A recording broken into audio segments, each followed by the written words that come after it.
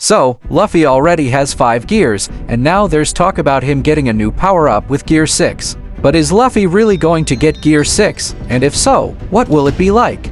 Recently, there was a post on Facebook claiming that Luffy's Gear 6 is coming, and it was supposedly directly from Eiichiro Oda's account, stating that Gear 6 will appear in Elbaf.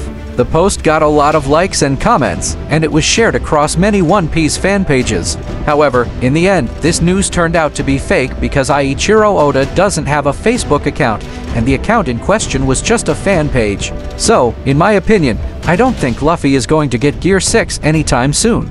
When Luffy unlocked Gear 5, it was said to be his peak, and the word peak was never used for any of his previous gears. Does this mean Luffy won't get Gear 6? The simple answer is that it's possible, but not guaranteed.